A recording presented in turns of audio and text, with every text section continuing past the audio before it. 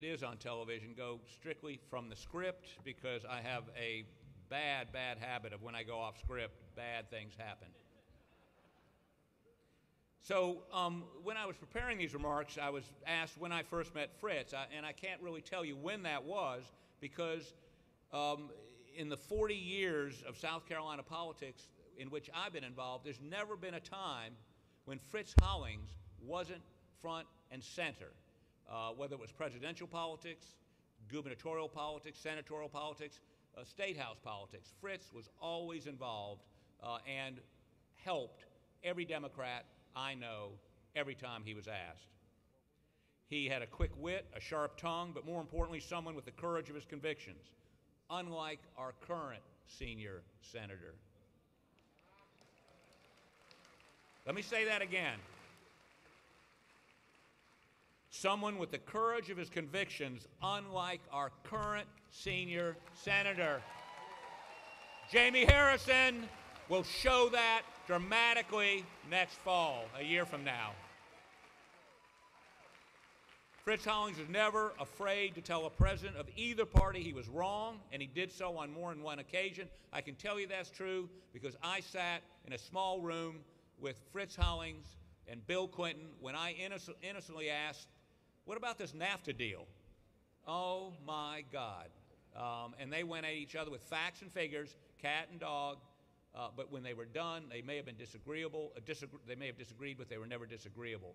Fritz had an acid tongue when it came to making his point. And I could, I could, I could spend this, the rest of the day recounting the stories about Fritz's wit um, and uh, recounting just you know a few things that happened in his nine successful statewide elections and six decades of service. However, in getting ready for this speech, I did a little research, and um, there's a lot of analogies between the times. Uh, 1970, he gave a speech to an honor society, which I pulled and read, and it's just amazing how prophetic and how uh, similar those times were to what we're living through now.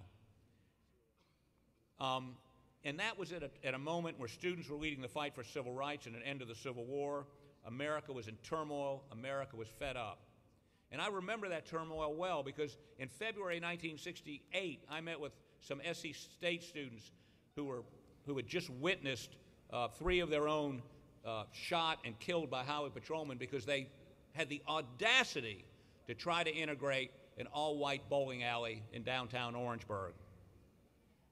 In April of that same year, Dr. King was assassinated, and I walked from Ebenezer to Morehouse in a funeral cortege of a half a million people. And one of the people we saw was Bobby Kennedy, who just a few weeks later was gunned down in LA. And on top of that, the, uh, the Democratic National Convention in August was a riot. So, I'm getting the eye. So I want to set the stage, though. And what I want to point out is Fritz observed our a sense of national community and shared purpose had frayed and was being replaced by balkanized special interests. We are identifying not as Americans, but as hard hats or students or militants or women or members of the silent majority. So he is a senator, and let me, I want to quote a little bit from what he told these students, and I'm going, hey, Trav, I've just thrown away three pages. Um,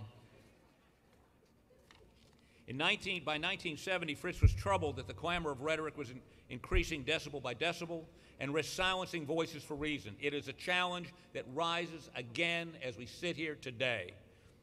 He said, quote, we must quit playing politics and lead. The country stands in need of a clarion call, a summons to greatness. It was Paul in his first epistle to the Corinthians who said, quote, If the trumpet gives an uncertain sound, who shall prepare himself for battle? We are not preparing, and the reason is the uncertain trumpet of our national leadership. The road ahead is by no means clear. Shall we continue down this clamorous road of drift and division, ensuring the collapse of all that's been built by patient toil and sweat? Or can we get back on the road of the forgotten America? And he said the first thing we have to do is go to work, just as we have to today. We've given up on politics too soon, he said. Like a hundred years ago, the politics of hopes have given way to the politics of despair. This is Fritz. Too many of us are seeking change outside the political realm, outside all institutions that can make productive change. Our problems cannot be solved in the streets. A just society cannot be built on the ashes of burned buildings or beaten bodies. A just society, a just society cannot be built when so many of us sit home in front of TV cheering for our side as our adversaries receive their comeuppance. This is Fritz talking, not me. No problem confronts this country that cannot be solved within the system. We us all must do our part. So, one last quote. Unless we realize, this is Fritz, unless we realize that every man and woman has hopes and dreams and grievances and fears, we will lack the spirit of community necessary to a united fight against our many problems. We need not only confidence in government, but confidence in each other. Wise leadership can encourage that dedication, but first we must find it in our will to make a national Declaration of Independence. Whatever decision we make, there's a new America around the corner. What kind of America that will that be? It is up to you and me to decide. Fritz Hollings, 1970, talking about what we confront today. Godspeed to Fritz, and God bless you. Thank you.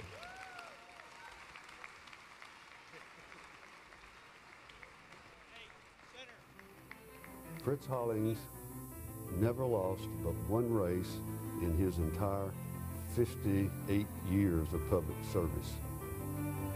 When Fritz Hollings was 30 years old, he was eminently good looking and he had a personality that would just light up a room. Fritz has a, a tongue attached to a brain that's entwined in, in a combative spirit, which means that when you go head to head with Fritz Hollings, you lose yours. He's the kind of guy that you wanted in a political foxhole, just as he had spent time in the foxholes of World War II himself. But Senator Hollings was an officer in the Army.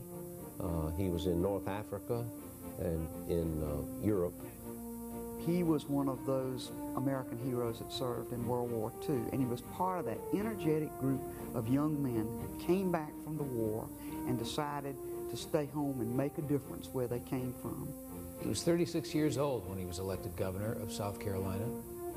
As governor, he wrote the book on governing in the New South. We all have a mutual challenge, one mutual goal, and that is for South Carolina to provide the best opportunity for all its citizens. He literally grabbed the state by the scruff of its neck in the 50s and pushed us into the 20th century. His vision for tech schools as a way of training South Carolina workers was a new, bright, visionary idea. When I became governor, the problem was to get jobs for the people. Today, the task is to get people for the jobs. For this, we must be skilled. Part of Hollings' uh, vision was the fact that the technical education system needed to be in place in order to make South Carolina attractive for uh, the recruitment of industry. This project that he started with our technical colleges and attraction of new sophisticated high-tech industry has changed the state dramatically. One of the principal difficulties we had then was that people were hungry. Children were hungry. Adults were hungry. They couldn't get jobs. They couldn't make enough money to buy sufficient food. Some 49,000 welfare families and only 19,000, as Dr. Ellis will tell you, are participating in the food stamps. Through Senator Hollings' so-called poverty tour, he shocked people into action. It took leadership. It took guts to do that. It was not a popular thing to do. It's not a surprise at all that uh, we do have poverty, but uh, the housing conditions there are no less than shocking. I first became aware of uh, this uh, young Southern leader of rather remarkable posture and uh, command bearing when he stood up for Jack Kennedy, but even more so as governor when the neighboring states of Alabama and Mississippi were bloody battlefields in the fight for civil rights. And Fritz Hollings made sure that his state of South Carolina moved forward uh, without bloodshed. Hollings' uh, position was uh, that we had run out of courts uh, and that uh, uh, Clemson would be integrated and it would be done peacefully. Uh, and that set the tone for the entire state, and it was accomplished peacefully.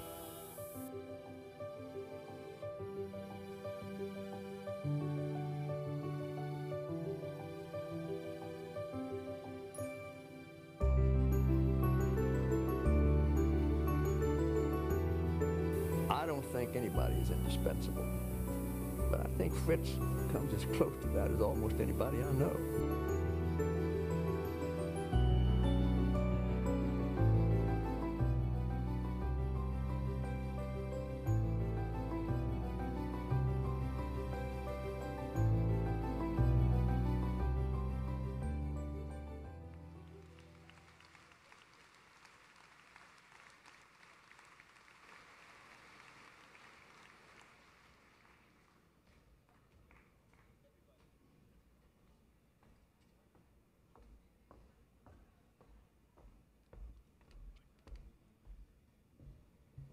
Thank you. Now we'll have some brief remarks from um, leadership at the DNC. Um, first to the stage is Jason Rae from Wisconsin, who is secretary of the DNC. Welcome to the stage, Jason.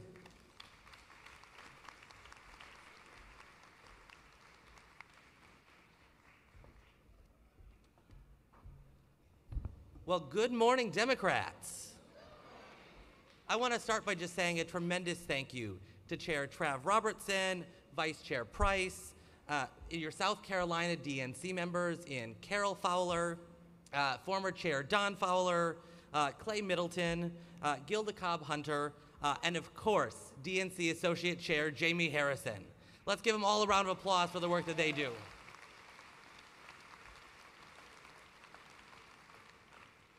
As was mentioned, my name is Jason Rae, and I'm honored to serve as the Secretary for the Democratic National Committee.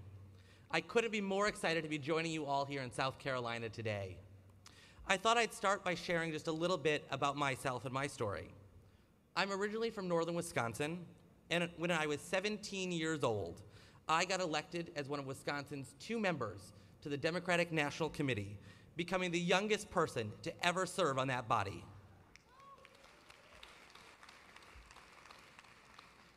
In February of 2017, I was honored to be elected by party leaders from across the country to serve as our national party secretary.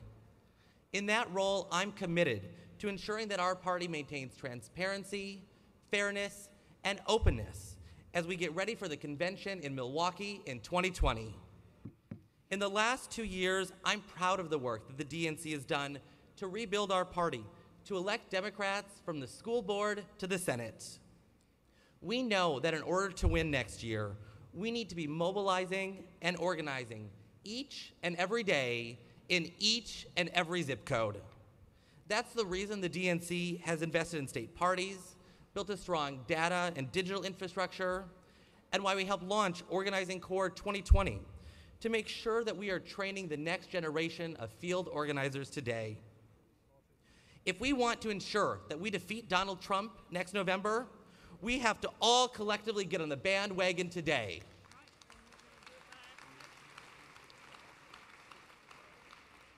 Will our wonderful candidates convey their message to the American people? We need to ensure that we are doing everything in our power to help build the infrastructure that we need to win. And that's exactly what the DNC is doing each and every day, but we need you to be part of it. Next November is just around the corner. And no matter which candidate you might be supporting today, next July after our convention in Milwaukee, we need you to be part of the team that will help take back the White House and help elect Democrats all across this country. Will you join me on that fight to retake our country? Will you join me? On behalf of the DNC, I truly want to say thank you. Thank you for the work that you are doing each and every day. But most importantly, I want to say thank you for the work that you have yet to do. Our work is not finished, but it's with each and every one of you, with all of us rolling up our sleeves, knocking on doors, talking to voters. We are going to elect Democrats from the school board to the Senate and take back the White House next November. Thank you so much.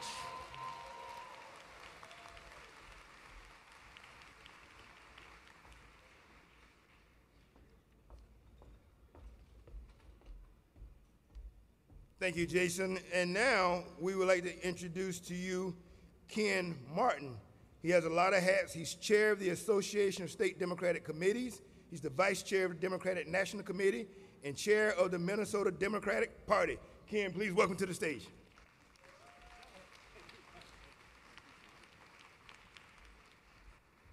Good morning, Democrats. Oh, come on. This is South Carolina. Get some energy. Good morning, Democrats. There we go. Say, as he just mentioned, my name's Ken Martin. I'm the chair of the Minnesota Democratic Party and president of our state parties association. And I want to thank all of you. I want to thank you for all the work you've done to build this party, all the work you're going to do over the next 500 days to build this party.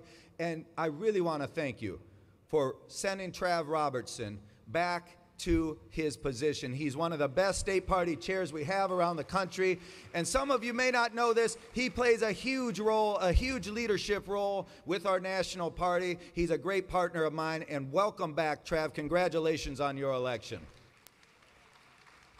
Now, look, we've got 500 days left. 500 days left until this critical election.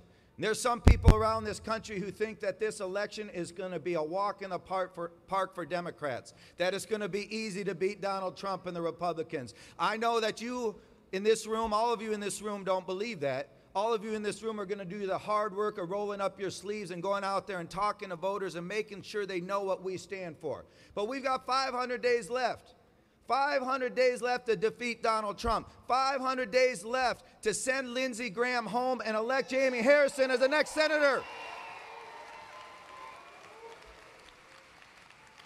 I want to ask you, over these next 500 days, I want to ask you to do one thing every single day. 500 things. Doesn't have to be big, doesn't have to be small, whatever you want to do. You want to wear a button to the grocery store, you want to talk to someone in the line at the, at the uh, church or, or at the post office. Just talk to someone every single day. Talk to them about why this election matters, why voting matters, why we need them to lift up their voices and participate in their democracy. Because that's really what's on the ballot. Democracy's on the ballot. When you think about what's been happening in this country, and this attack on women, this attack on civil rights, this attack on voting rights, this attack on immigrants, our democracy is at stake and we got to stand up and fight for it. Are you with me, Democrats? But let me tell you, let me tell you, I get a little dismayed because, you know, we're having this big family food fight, and I think we should be really feel blessed that we have 23 great candidates running. But I got to tell you, my mantra for 2020 is vote blue no matter who, right? Vote blue no matter who. But you see, there's some, there's some that let perfect be the enemy of good in our party. In 2016, we had 10% of Democrats who voted for Donald Trump. We had a tripling of the third party vote in 2016. We cannot afford to be divided. Now, don't confuse unity with unanimity, as our chairman Perez says. We don't have to be, we, we can fight hard for whoever we want. Get behind your candidate. Support those candidates that share your values. But when the time comes in July of next year in Milwaukee, it is important, I would say it is critical for all of us to come together in unity, unity of purpose, unity of mind, unity of action to help elect our Democratic nominee. Are you ready to do that, Democrats? All right, let's go do it. Thank you so much.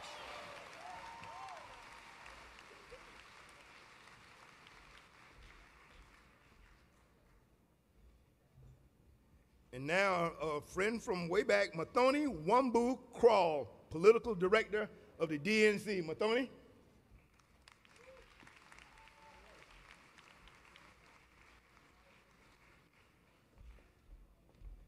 All right, good morning. It is energizing to be in the room full of folks who are going to defeat this president. It is energizing to be in this room full of folks who are going to help us flip the Senate. It is energizing to be in the room that is going to hold that House seat and keep our House majority. It is energizing to be in a room full of South Carolina Democrats that are going to win up and down the ballot. As our chairman says, we have 251 days until the South Carolina primary. I'm breaking it down from the 500. I'm putting the pressure on. It is our jobs to lay the groundwork for our next nominee, whomever that may be. It is our jobs to build the infrastructure that Democrats will need to win this big, ambitious agenda in 2020.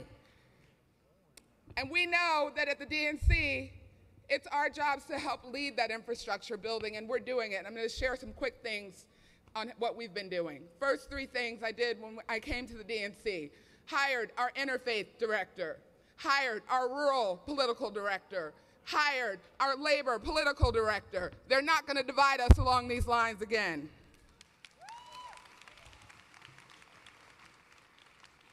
We know that it's our jobs to help manage a fair, inclusive, and accessible presidential nominating process, and we are putting together everything we can to do that. We are working closely with the South Carolina state parties and all of our state parties in creating some really ambitious and new processes. And so we are thrilled to be here to share with you that your DNC is up and running and we are ready for 2019 and 2020. We are going to continue to carry forward the 50 state strategy and we are preparing the baseline infrastructure in all of our states that Democrats need to win up and down the ballot. And so thank you for all that you are going to do in this fight.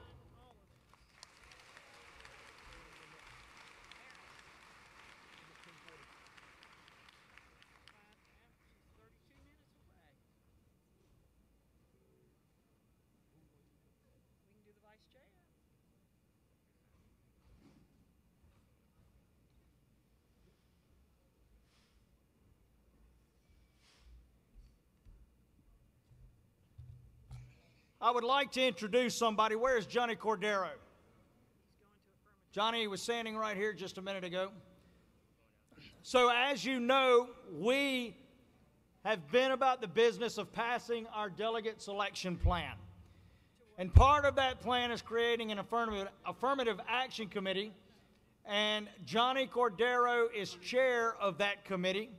And I think he's left the room for a moment, so we'll hear from him uh, in just a second. Um, however, as we move forward into next year, we will begin the precinct reorganization of our county parties and our precincts, and that is the fundamental tenet by which we will choose delegates to the national convention. So, what that means is we will have to reorganize our precincts, and part of that is making sure that we are as inclusive of all of our people in this state. And Johnnie Cordero uh, has willingly taken the task of running our Affirmative Action Committee, but he also chairs uh, the South Carolina Democratic Party's Black Caucus. And at the end of the day, that is one of the most fundamental tenets of our delegate selection plan. And so, with that, Johnnie, are you in the house? Yes, I've seen him. He's not. Well, he was right there just a moment ago.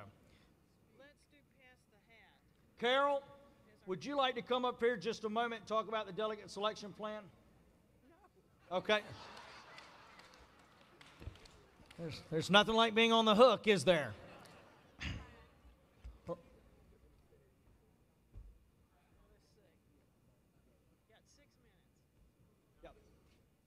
Johnnie, there he is. Johnnie Cordero, the chairman of the Affirmative Action Plan, a committee for the delegate selection plan. As he makes his way to the stage.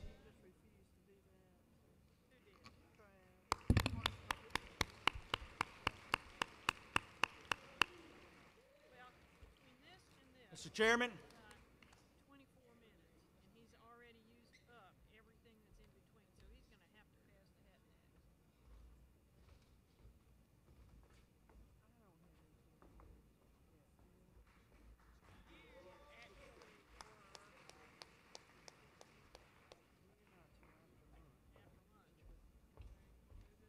They tell me the worst thing to do is to start off a speech apologizing. I do apologize, ladies and gentlemen. Please forgive me for being late.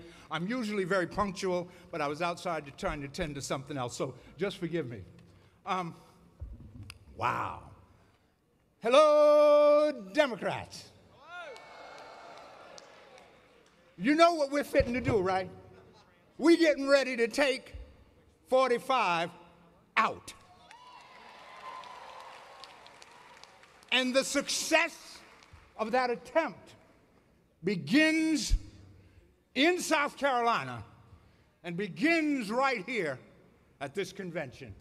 I want to thank you all for being here, and I want to thank uh, Trav for the opportunity to speak to you. I don't get, often get to do this, as unaccustomed as I am, you can apparently see, to public speaking, but I am glad to be here. In 1964, a courageous, visionary black woman said that she was sick and tired of being sick and tired. She said she was sick and tired of being sick and tired.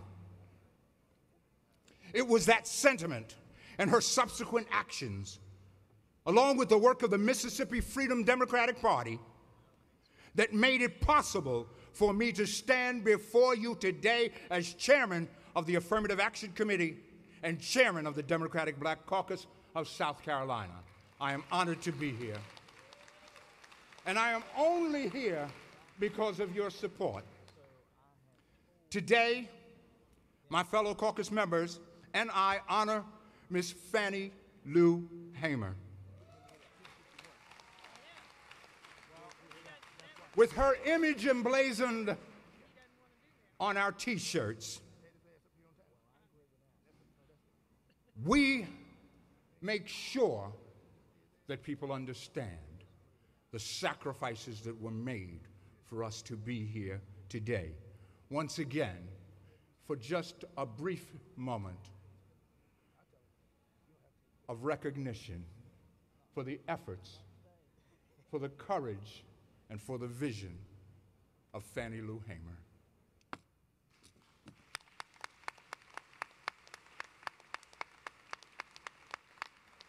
As chairman of the Affirmative Action Committee, I have the distinct honor of continuing her noble work to make our great party more diverse and to make sure that we put in the work for all, regardless of race, religion, gender, age, or sexual orientation.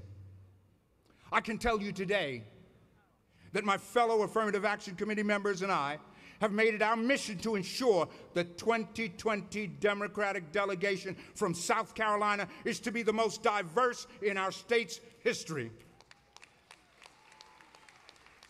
We will ensure that the South Carolina Democratic Party's affirmative action plan is fully implemented as the process gets underway for the selection of delegates to represent our great state in the 2020 Democratic National Convention in Milwaukee. I take this responsibility seriously, very seriously. So much so that we will commit to finding financial assistance to help delegates who may need to defray the cost of travel to Milwaukee in 2020. That is also part of our responsibility. This responsibility and our commitment to our constituents has been made infinitely easier thanks to the support and assistance from our chairman, Trav Robertson. Let me tell you as a personal point of reference, let me tell you about Trav as quickly as I can. Every time I call, yeah, that's what he means. It's time for me to go off. But he asks only one question every time I call him. And he says, Mr. Chairman, what do you need? And each time I get his support and his assistance, genuinely and sincerely. That is your new chairman. One last thing for the record, and as a reminder to the candidates, there are 963 960, this is very important, ladies and gentlemen. He gonna carry me off in a minute, and you know he's bigger than I am. I just want to say this one last thing, we're going. We're, we're, on a, we're on a tight schedule. As a reminder to the candidates, there are 963,000 registered African American voters in South Carolina. We represent 60% of the Democratic electorate in this state. Of those, African American females make up a large percentage and vote most often. Ladies and gentlemen, we're going to send a diverse one to this city. Thank you so much for your time. I apologize for going over. Ladies and gentlemen, thank you, sir. Thank you, Mr. Cordero. Um, we're on a strict schedule. The presidential candidates are here. And um, first up to today, welcome to the stage, the Senator from California, Kamala Harris.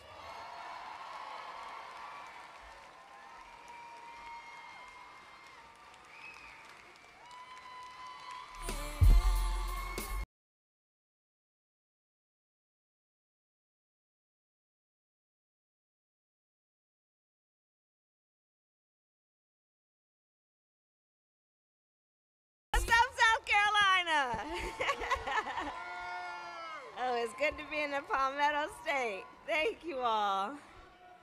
Oh, thank you, thank you, thank you. I just want to start by thanking you, South Carolina Democrats, because y'all have been holding it down.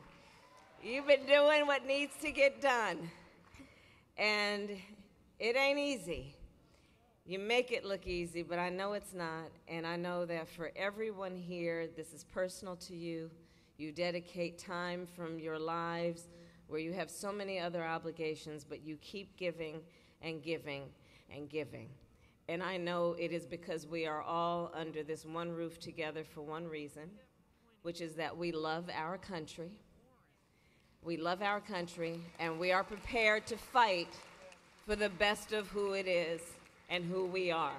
And we all know this is an inflection moment. This is a moment in time that is requiring us each to look in a mirror and ask a question. That question being, who are we? And I think with South Carolina Democrats, what we all know is we are better than this.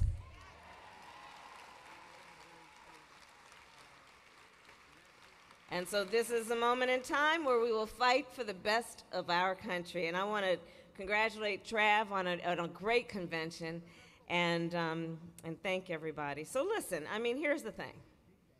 We know that as Democrats and as those who are leaders, um, who, who take it upon ourselves to do everything in our ability and power to lift folks up, to tap on our neighbor, neighbor, to tap on our, on our friend who may be sitting on the pew next to us, to tap on the shoulder of our coworkers and our family members.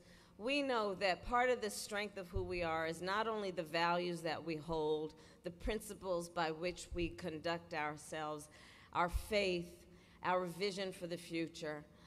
Our strength is also that we know how to organize, that we know how to do the critical work that must be done every day to make sure that we get our message across and that we accomplish our goals because we also know that in order to fight for the best of who we are and to fight for our values and see them reflected in our elected leaders, we know we must elect the right people. We know elections matter. We know who holds those important positions will make decisions about our lives, and so we want to make sure that the people who are there are conducting themselves in a way that is about our interest and not their self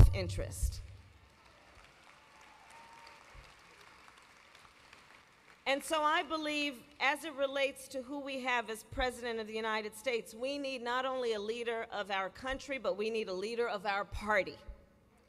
We need somebody who, as President of the United States, understands the need to rebuild the party, who understands the need to give the resources and the support to the people who are on the ground every day doing the hard work. We can't just helicopter in here. We have to support the people who are on the ground, who know the community and do the work every day. And that's the kind of president I intend to be. And South Carolina, you have such a rich and deep history of fighters. You have the fighters who have always fought for the conscience and for the morals of our country, those great civil rights fighters. You have had fighters past and present. Just last week, we commemorated the four year anniversary of the Emanuel Nine, recognizing those heroes and the sacrifice and the fact that still there is so much to fight for in our country. We look at the great heroes and the, the leaders who have come out of South Carolina, the Friendship Nine. We look at the Orangeburg protesters, and we know they believed in a nation. They believed in a nation of equality where everyone counted. They were deep of faith. They understood what can be unburdened by what has been. And it is upon their shoulders that we now stand, charged with the duty and the responsibility of understanding what can be and fighting to get there. That is our responsibility. And you know, I was raised in a family of civil rights fighters. I was raised in a community where we were taught don't you hear no when they say it? Know where we are and know and see the vision and be deep of faith in knowing that you can see what maybe others can't see, but you can help them get there. You can help them get there, but it will take a lot of work. It will take a lot of work. So I stand before you as a candidate for President of the United States, prepared to do the work of helping our nation see what can be, unburdened by what has been, and see the vision of the future, respecting our past. I know that we have in this White House a president who says he wants to make America great again. Well, what does that mean? Does that mean he wants to take us back to before schools were integrated? Does that mean he wants to take us back before the Voting Rights Act was enacted? Does that mean he wants to take us back before the Civil Rights Act was enacted? Does he mean he wants to take us back before Roe v. Wade was enacted? Because we're not going back. We're not going back.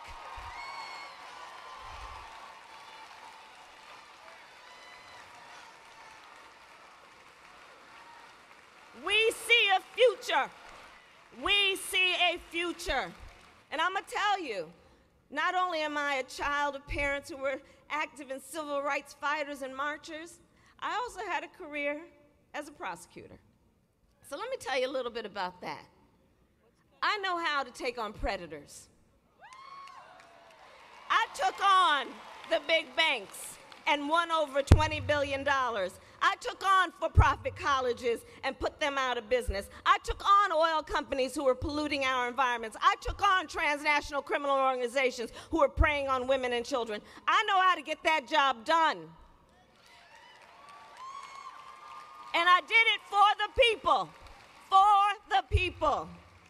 So let me tell you, we need somebody on our stage when it comes time for that general election who knows how to recognize a rap sheet when they see it and prosecute the case.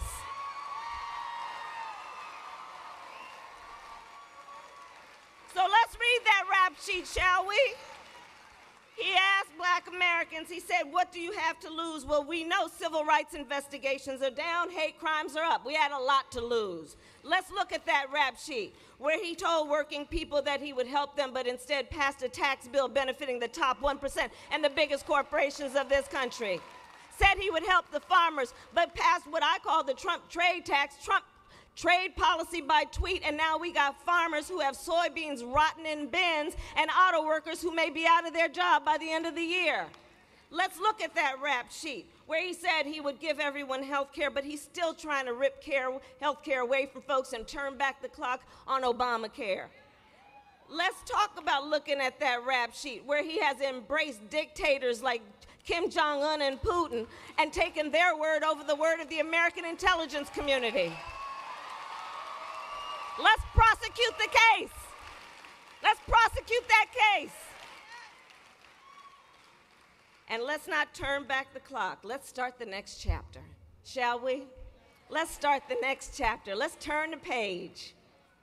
And here's what I see in that next chapter I see us fighting for our America in what I call the 3 a.m. agenda which means looking at writing that next chapter through the lens of what wakes us up in the middle of the night. What's on our minds? What do we need to deal with? So let's turn the page, South Carolina, and write that next chapter in a way that we take action. We take action on paying people equally for the work that they do, be they women, paying our teachers what they deserve in terms of paying them their value Let's take action on getting $500 more a month to working families so they can get through the end of the month. Let's take action and make sure that if Congress doesn't have the courage to pass smart gun safety laws, then we will get the job done. Because I believe in an America. I believe in an America and our America where you only have to work one job to have a roof over your head and put food on the table. I believe in an America where teachers are paid their value. I believe in an America where no politician tells a woman what to do with her body. I believe in an America where health care is a right and not a privilege for just those who can afford it. I believe in an America where children do not have to fear going to school for fear of a mass shooter. I believe in an America. I believe in an America where we have a president who understands the greatest strength and the greatest power any one individual can have is not to beat people down, but to lift them up. So I'm here to ask you for your support. Thank you, South Carolina.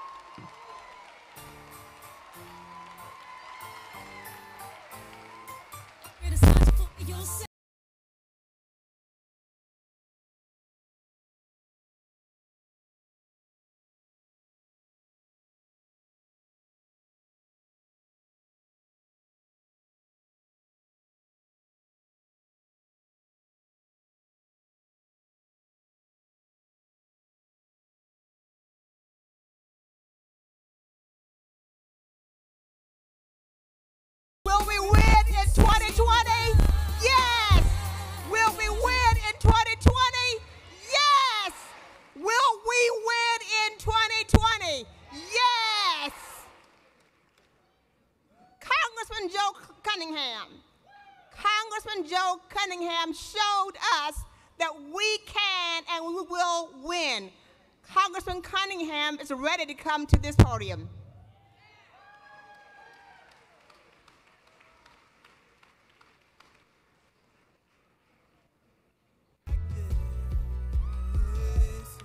Like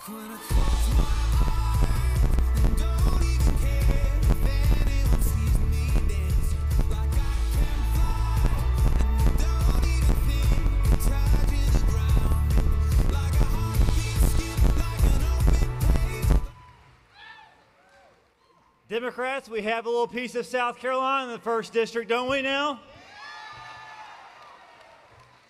Good morning, good morning.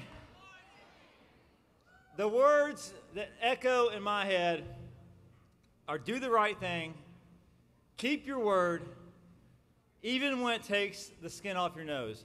I remember those because those words were spoken to me by my dad, and he heard those from his dad. They're the words that I try to live by. And that's why, when running for office, I didn't make sweeping promises that would be impossible to keep. I promised I would make sure that there would never be any oil rigs off of our coast of South Carolina.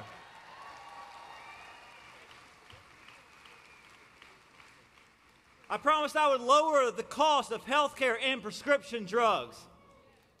I promised to be an independent voice that wasn't bought and paid for by PACs or special interest or anyone, someone who's held accountable to the people.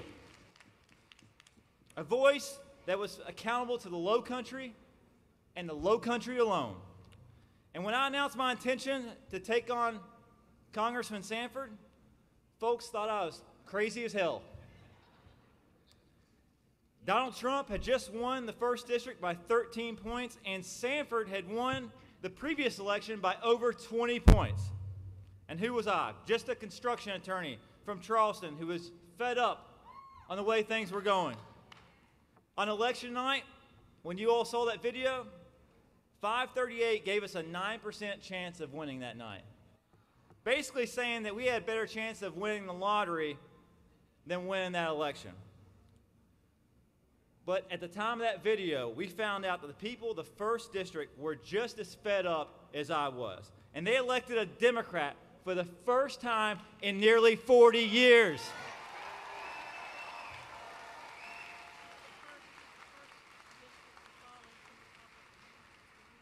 South Carolina has been written off for far too long. We've been given up as dead.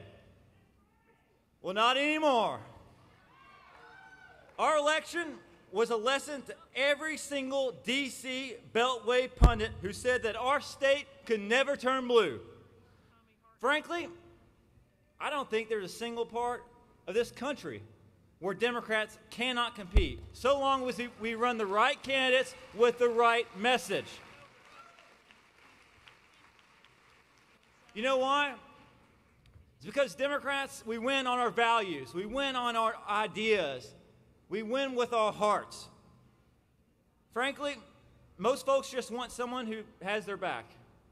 And that's why I promised I would always put low country over party and people over politics.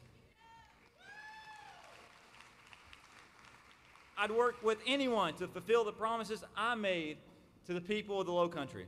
And just look at what we've accomplished in the last six months. I promised my constituents I wouldn't say just no to offshore drilling, but I'd say hell no to offshore drilling.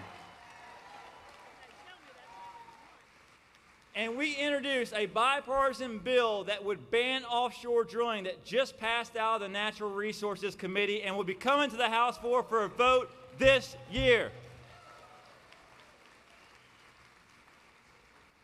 We passed the first pieces of gun safety legislation in nearly 25 years. Bipartisan, common sense gun safety measures. And we passed the bill that would close the Charleston loophole out of the House.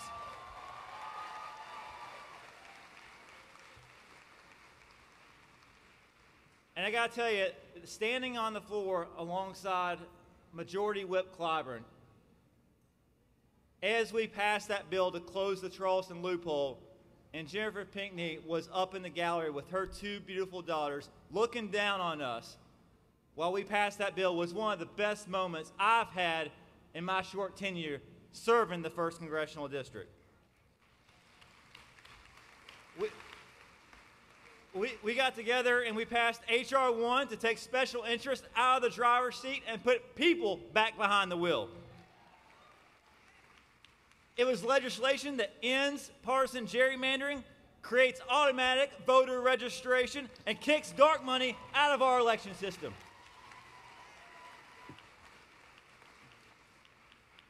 We recognize that it's absolutely unacceptable that in South Carolina today, a same sex couple could have gotten married this morning and be fired, evicted, or denied service later this afternoon.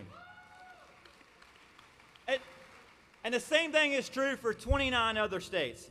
That's why we passed the Bipartisan Equality Act to prohibit discrimination based on sexual orientation or gender identity.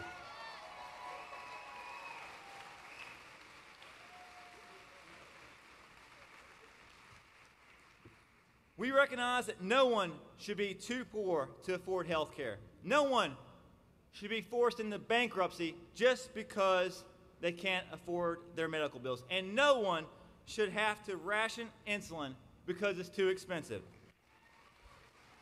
It's un American. That's why we worked across the aisle to pass not three, four, six, or eight, but nine pieces of legislation that lowers the cost of health care, protects people with pre existing conditions, and helps bring down the cost of prescription drugs. We told you we would do it in the House, and we have done it. And you know how we did that? It's because of you. You knocked on doors. You made phone calls.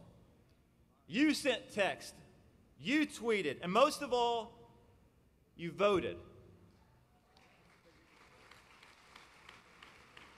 And it's important to remember, although they say 2019 is off year, we know there ain't no such thing as an off year. The work goes on. And it's important we remember what it is exactly that we're fighting for. For me personally, I know I've got a son at home right now that I'll be going home to shortly.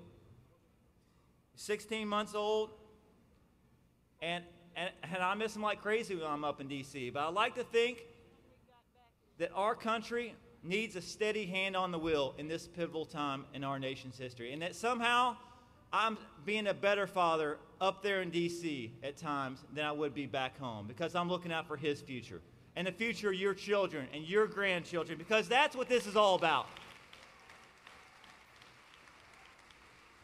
I, I, I want to be able to, years down the road, when he's standing eye to eye with me, look him in the eye and, and say that I was there for him. I had his back. And I was looking out for him and his peers and the generations that follow.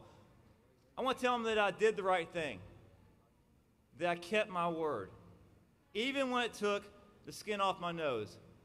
that we kick dark money and special interests out of Washington, D.C., and that create a better future for him and other kids across the country. I want to tell him that I'm proof that if you play by the rules, if you keep your promises, if you treat every single person with the dignity and respect they deserve, and show a little backbone when necessary, that anything is possible.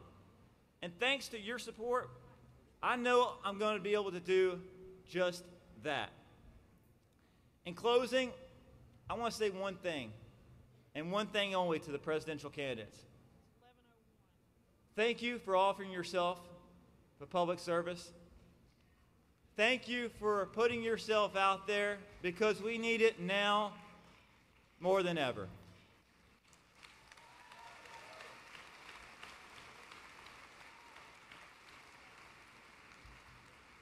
But remember, let's keep the infighting to a minimum and keep our eye on the prize. Thank you.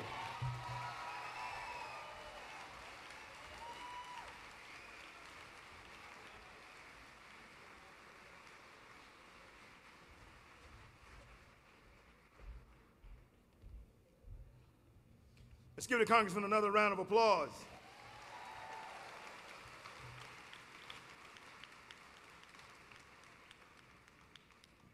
An interesting thing is, is that in this seat where the congressman serves, it was the first seat that the Republicans took from the Democrats in the last century. And he was the first Democrat to take it back from the Republicans in this century.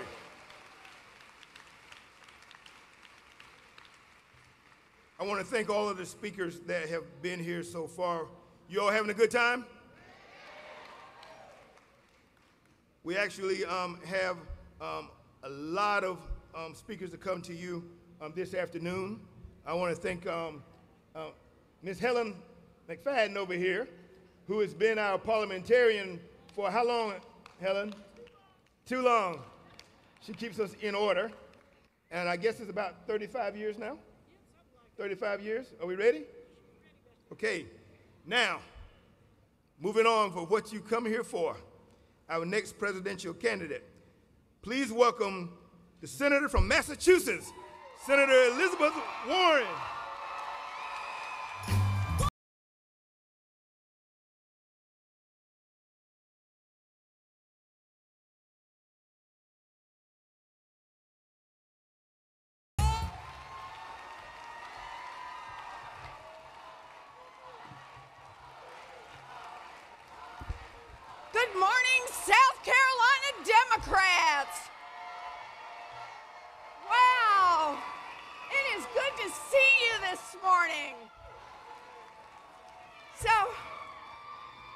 To tell you all, not in a million years did I think I would be standing on a stage like this.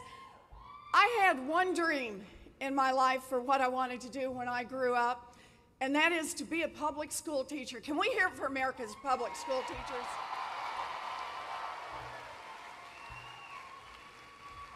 Now, it was a pretty rugged path for me. My daddy ended up as a janitor. We didn't have any money for it. I finally made it off to college. Then I dropped out at 19 and got married. Found a commuter college that cost $50 a semester. Scratched my way back, made my four year diploma, and became a special needs teacher. I've lived my dream job.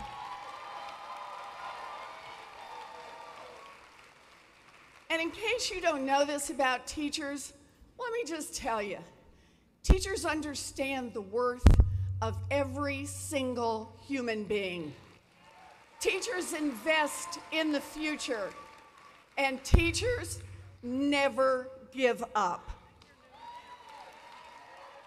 I come to you today filled with optimism.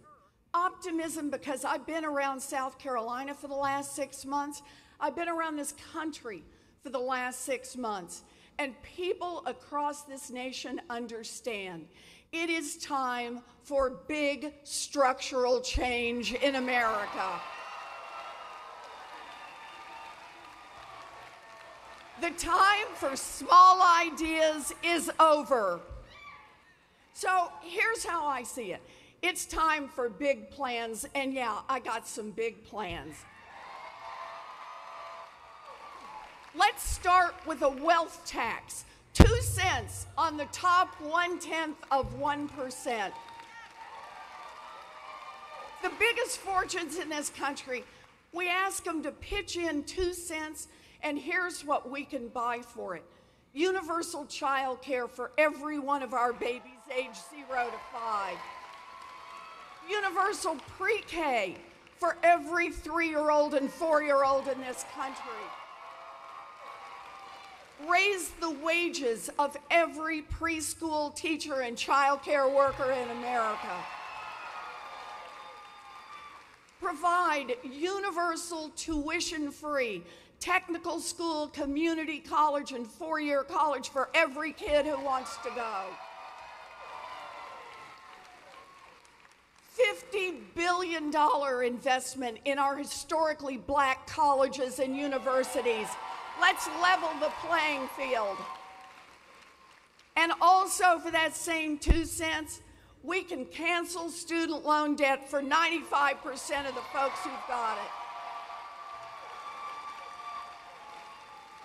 And that last plan took a big step toward becoming a reality this past week when your Congressman Clyburn and I introduced that bill in the House and the Senate together. You know what all those big plans are about? They're about a fundamental question Who does government work for? Is government just going to work for a thinner and thinner slice at the top? Well, I'm in this fight because I believe we can make government work for everyone else. And I believe that when we get in the big fights for the big ideas, that's when it is that we draw in Democrats and Republicans. That's when it is that we make it worthwhile for people to get in the fight. That's why we're here to build a future, not just for those who are born into privilege, but to build a future for everyone.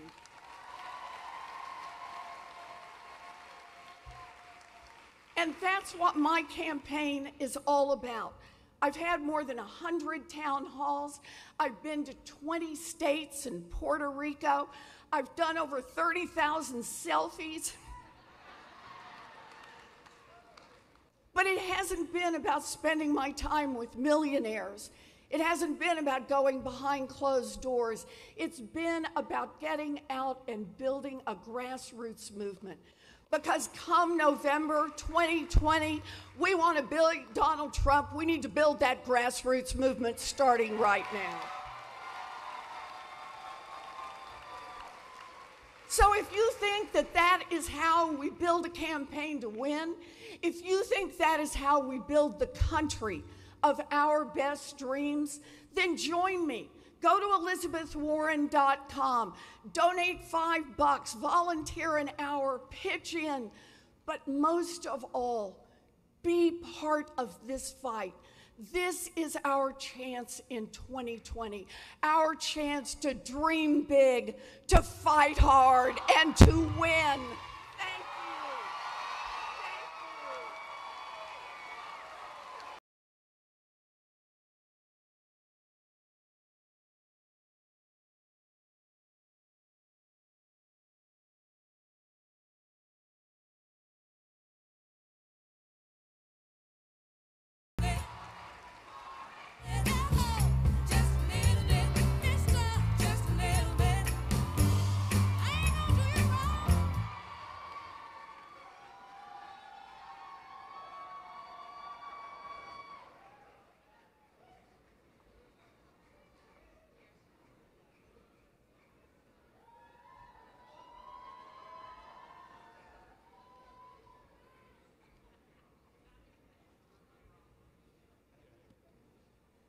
Thank you. Another round of applause for the senator.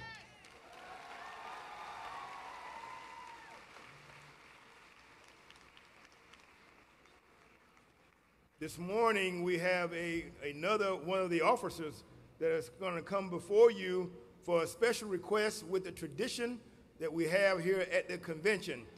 I will bring back to the stage our treasurer, Ms. Betsy George.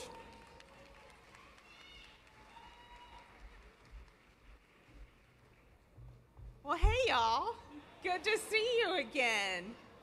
I bet you can't guess why I'm here. I'm actually going to introduce you to a gentleman who is just a real pillar of the South Carolina Democratic Party, a former chair of SCDP, a former chair of the Democratic National Committee, Dr. Don Fowler.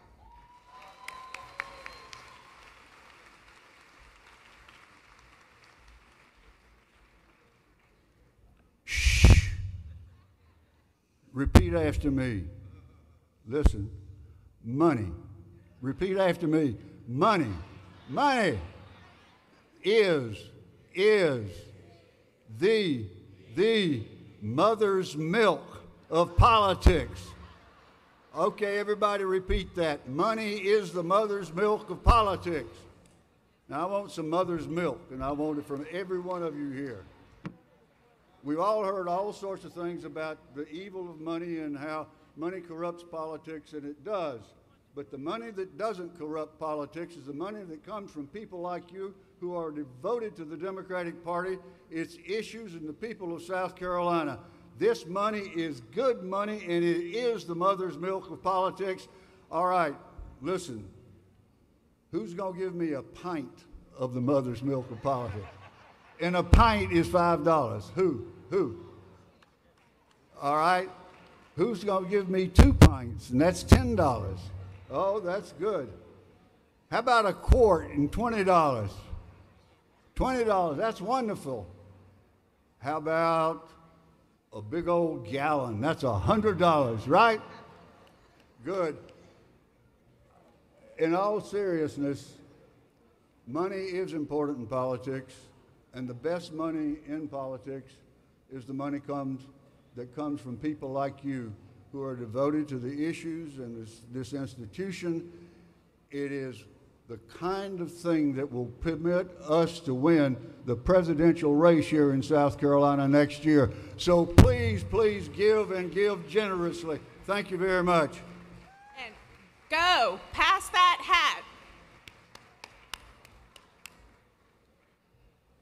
Your generosity today will help us, as you heard Trav mention, make a new home for the South Carolina Democratic Party's headquarters.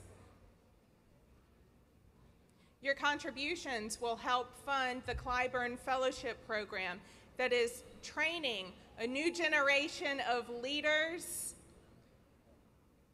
right here in South Carolina. Where are my fellows? Hey, there they are. Where's my third class? In the house. I see you, Isaac. Your contributions are going to help us flip the South Carolina State Senate.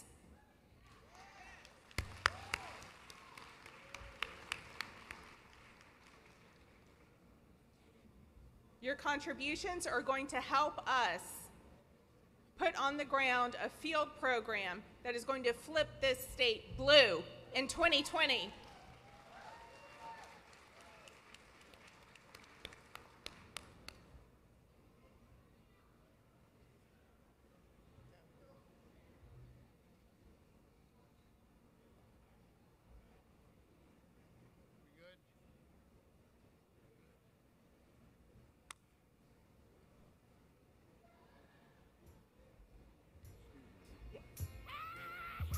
Now, we've got a few minutes here. I want everybody to rise.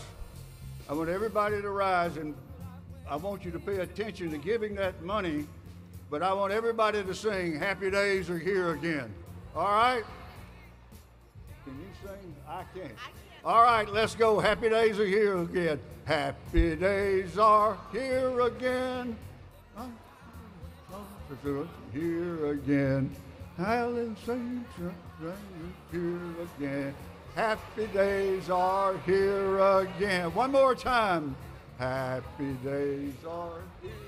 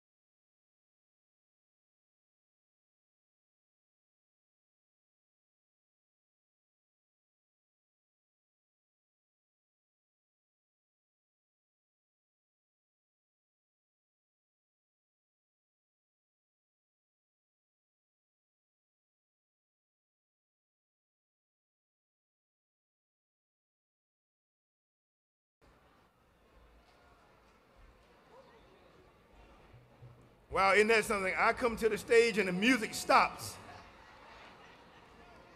They told me not to dance. So I'd like for everyone now to sort of um, come back to order and um, maybe return to your seats if you can. I have a um, great responsibility that I'm have a pleasure of, and that's knowing who's going to come next. Are we ready?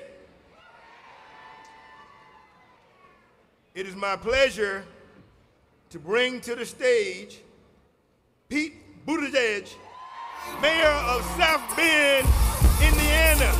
Mayor Pete.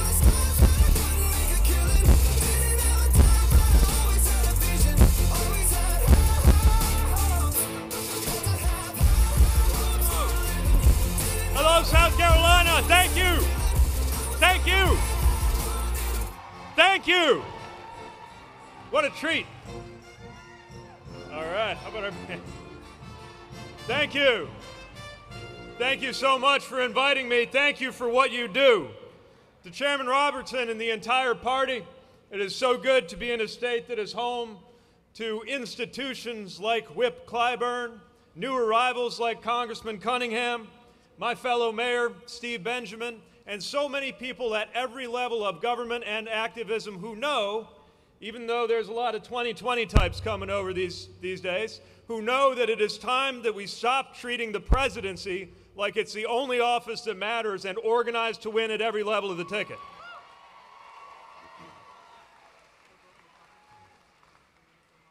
I'm thankful to be with you. I'm with you after a challenging week back home. I've been off the campaign trail, helping my community move through a tragic shooting of a resident of our community by a police officer. It is as if one member of our family died at the hands of another. And even as an outside process works to determine what happened, we already know why such deep wounds are surfacing, why our whole community hurts. But I also want to tell you that my community is full of people who believe in safety and justice. We will heal and we will come stronger in the broken places.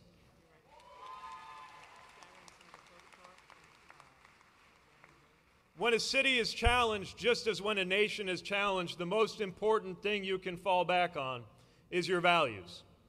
And I'm here to talk about the values that make us Democrats because I am sick of the word values being talked about like it only belongs on one side of the aisle.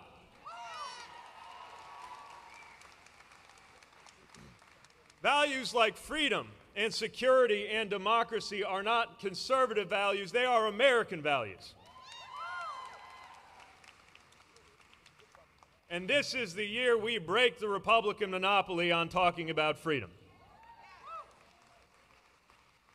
We're the ones who know that freedom is at stake if there is a veil of mistrust between community members and officers sworn to keep them safe. We know that you're not free if you don't have health care and you're afraid to start a small business. We know that freedom can only come by way of education, which is why we need a president who will, who will appoint a secretary of education who actually believes in public education.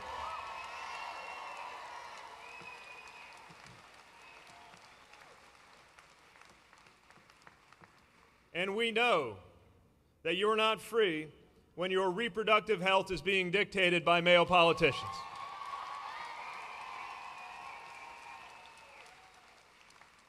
Freedom doesn't belong to the Republican Party, and by the way, neither does patriotism. You know, whenever I come here, I'm filled with memories of the first time I spent uh, a little visit in Columbia, which was not quite as comfortable as this one because I was at Fort Jackson learning, even though I was a sailor, learning for some reason how to do Army stuff because this is where they teach you how to do that. And I'm pretty sure the flag that we saluted in morning formation at O Dark 30 or the one on my shoulder was not a Republican flag, it was an American flag.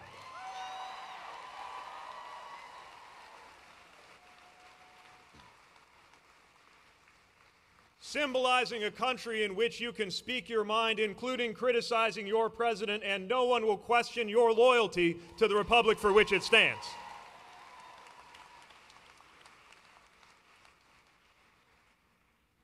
So, if we want to talk about security, let's talk about security. Let's talk about cybersecurity and election security. Let's recognize that climate disruption is a national security threat.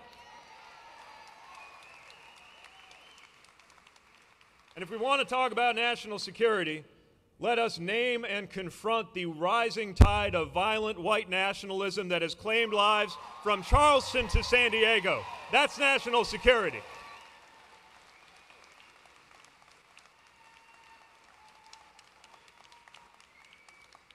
It means economic security, and economic security felt equally, which is why I believe we need to invest in the future of black America with a Douglass plan that is as ambitious as the Marshall Plan that rebuilt Europe. We have to make these investments. And to get any of it done, we've got to insist on democracy and recognize that our democratic republic is not democratic enough. We need fair districts. We need to get money out of politics. And yes, we need to elect our president in a way where your vote and my vote counts by adding up all the votes into a national popular vote and choosing our president that way.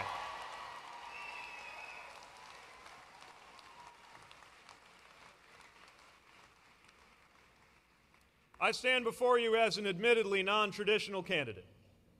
But I think it just might do some good to send a mayor to Washington when we need Washington to look more like our best run cities and towns instead of the other way around. And I would argue we need a new generation of leadership to step up at the highest levels in our country.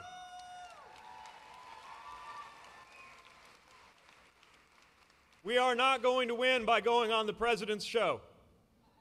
I know it's massively entertaining. I don't know what kind of show to call it.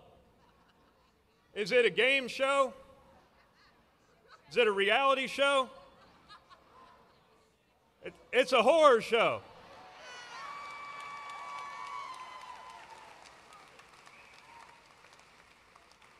So we're not going to go on his show because if you're on the show, you're already losing. What are we going to do? We're going to change the channel.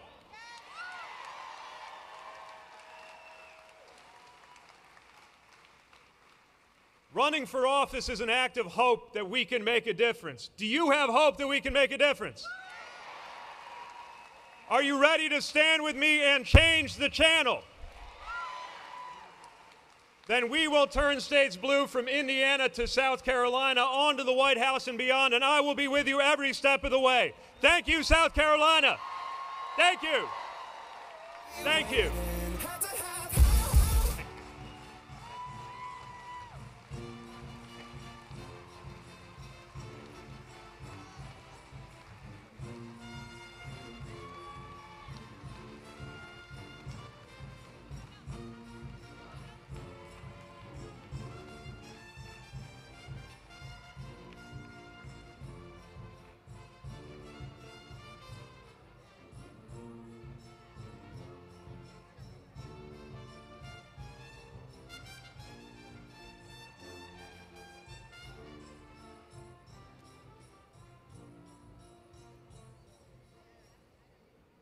Let's give Mayor Pete another round of applause.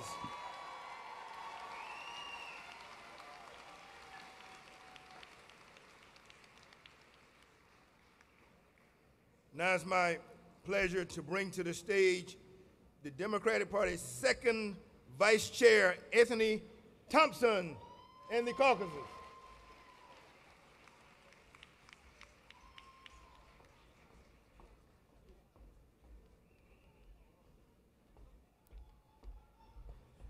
Good morning or good afternoon. I can't, I don't know what time it is today, right now. well, how's everybody feeling? Great, great, great. I have the privilege of working with some fantastic people, some great people. Um, they are advocates for the things in our community. They are voice, they are the, the legs, the, the voice, the arms of your community, and that's our South Carolina Democratic Party caucuses. Give them a hand. So, if you hadn't noticed Yes, come on, Dr. Weinberg. If you hadn't noticed, there are some tables outside of this door that has um, their information. And if you're interested in one of these caucuses as I introduce them, please feel free to sign up.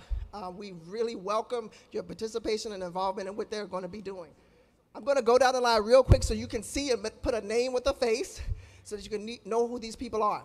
I have on the end Bridget DeLine. She's our South Carolina, she's the Single Parents Caucus Chair. Dr. Stuart Weinberg, he's the Environmental Caucus Chair. We have Ann Wilbrand and Jim Thompson, who are the co-chairs for the LGBTQ caucus. We have Dwayne Sims and Mr. William Lawrence, who are the Veteran Caucus chairs, co-chairs. We have Carlton Dallas, who is the Business Caucus chair. We have the Miss Tangi or Mama T Jacobs. She's the Rural Caucus chair. And we have John Wright, who's our Faith Caucus chair. Now, we also have, and I'm not sure, I can't see her right now, but we have who co chairs it with me, the Disability Caucus. And that's Peggy Butler. She's somewhere here. I thought she would have been up here, but she's somewhere. And if you hear, raise your hand, Peggy. And then we have we have 15 total caucuses, y'all. When I started, we had nine with the party in this position, and now we have 15 active participating caucuses. So again, I'm not going to take a lot of time because they do want to run me off the stage. But I want to thank them so much for the work that they do. Johnnie Cordero. Johnnie Cordero was just up here. I thought he was running. Johnnie Cordero is the chair of the Black Caucus. He was up here earlier, so give him a hand too. But thank them for the work that they do. I appreciate everything. So please be sure to sign up, see them, engage with them, talk with them, and find out more how you can get involved with those caucuses. Thank you so much, and I'll see you soon.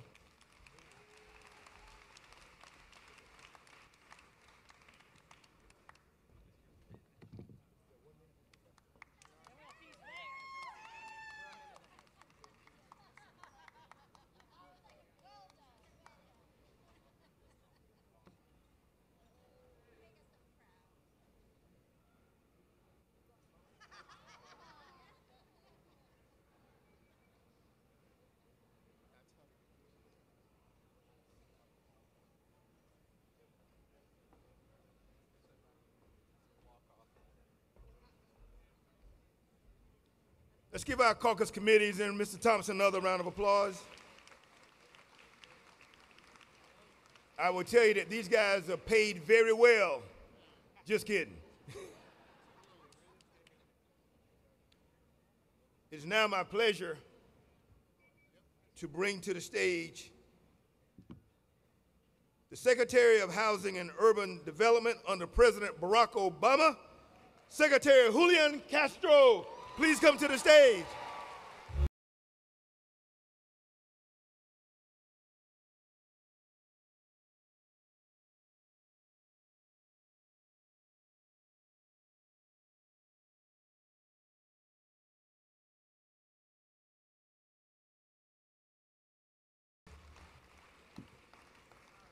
Buenos dias. Good morning. It is great to be here in South Carolina with some fired up Democrats. First of all, thank you very much, uh, Senator Malloy, uh, to the convention chair, to all of the Democrats who have helped put this convention together. Congratulations on a great event and for getting 21 candidates here today. I'm Julian Castro. You know, I often feel like I need a name tag because I have a twin brother, Joaquin.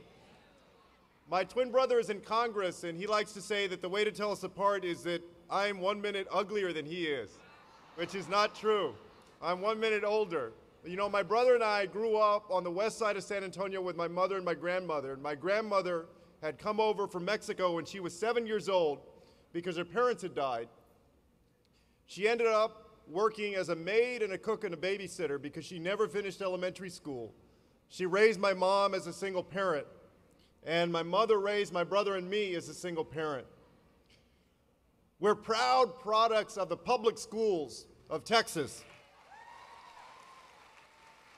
And to think that just two generations after my grandmother got to this country with nothing, one of her grandsons is serving in the United States Congress and the other one is running for President of the United States. That's America. I had the chance to serve as mayor of my hometown and then as Secretary of Housing and Urban Development under President Barack Obama. And during that time, I had the chance to see 100 different communities, big and small, in our country in 39 states, to manage a $48 billion budget with 8,000 employees and 54 field offices across our country. I'm running for president because I believe that it's time for new energy and new leadership in this country with a new vision for our future.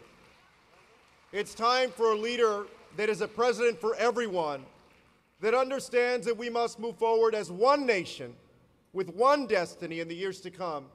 And I'm convinced that that destiny for America is to be the smartest, the healthiest, the fairest, and the most prosperous nation on earth.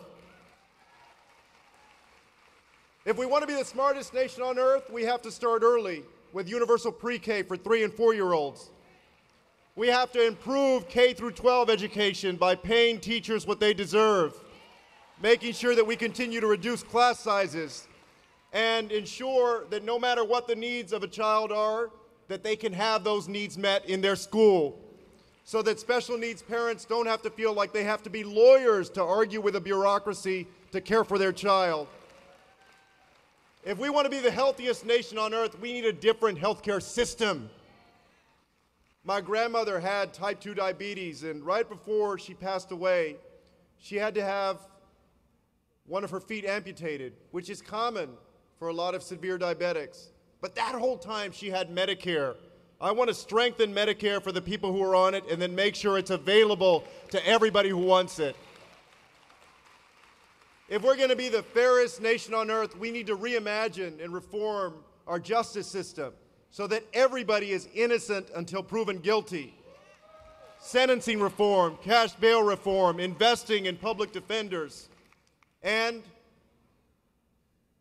as I've often said, you know, recently I was in Charleston, a couple blocks away from the Mother Emanuel AME Church, and it reminded me that four years ago, Dylann Roof went into that church and he murdered nine people while they were worshiping.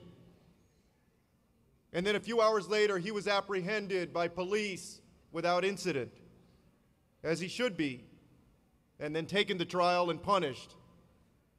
But it made me think then, what about Eric Garner and Laquan McDonald and Stephon Clark and Jason Pero? And what about Sandra Bland? And what about Pamela Turner? And what about Antonio Arce? And what about Walter Scott here in South Carolina? They deserve justice too. No matter who you are, no matter what you look like, no matter the color of your skin, you ought to be treated the same under our justice system, and we can help bring that about. I'm the only candidate that has put forward a plan on police reform. We won't have any second class citizens when I'm President of the United States. If we're going to be the most prosperous nation on earth, it means prosperity for everybody. We need to raise the minimum wage.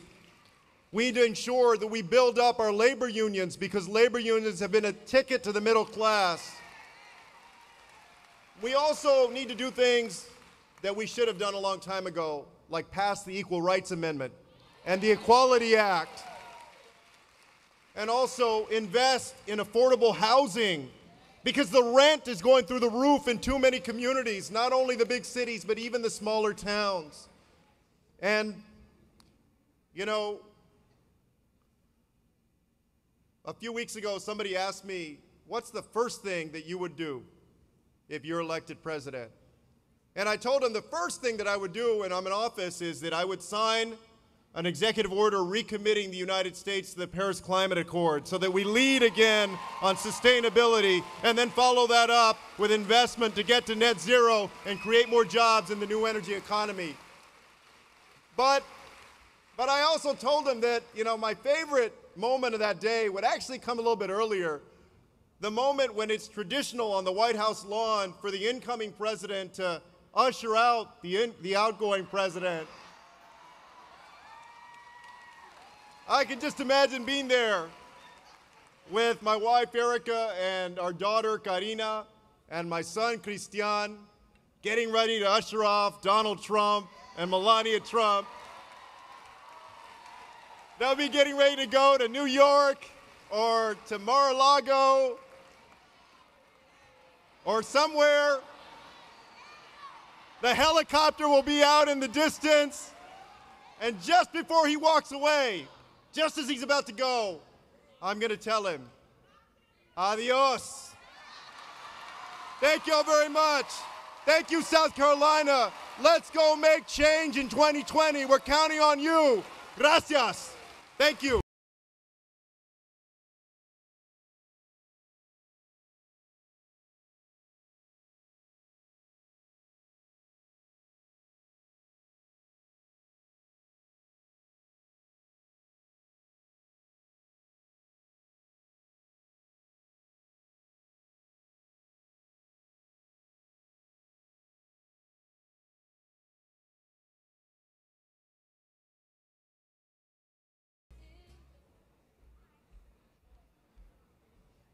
It's me again.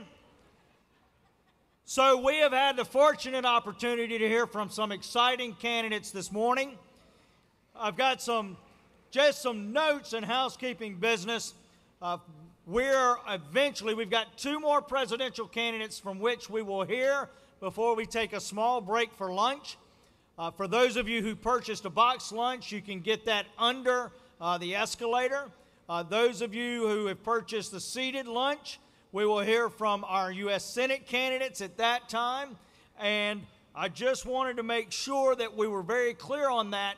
I wanted to give you an overview of the, the afternoon, and you will hear this again. Immediately after lunch, we will hear from Senator Sanders.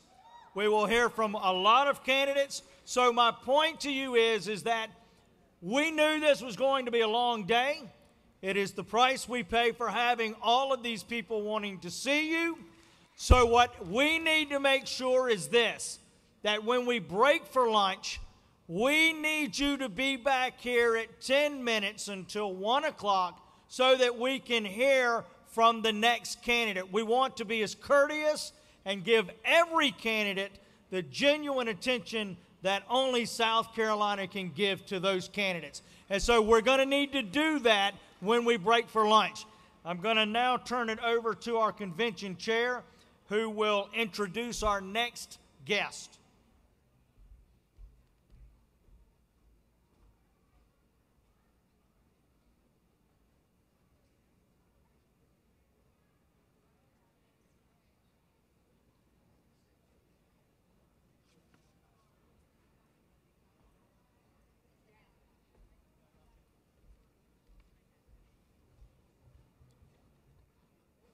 Thank you. Um, you guys enjoying the presidential candidates? Want to thank you for being orderly and the fact that we are continuing to be on, on time. Um, our next speaker is the senator from Minnesota, Senator Amy Klobuchar. Please welcome her to the stage.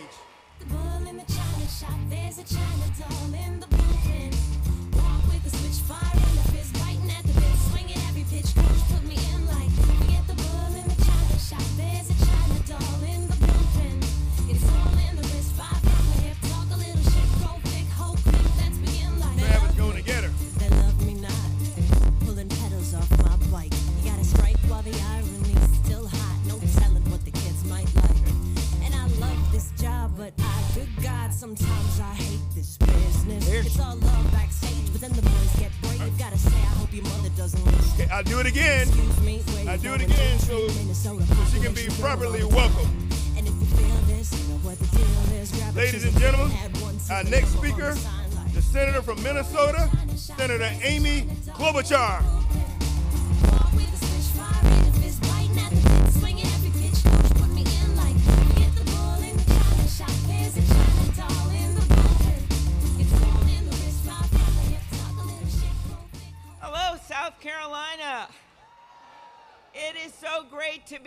Back here, and I have a good feeling about this date because the last time that I spoke at your dinner, something really big happened.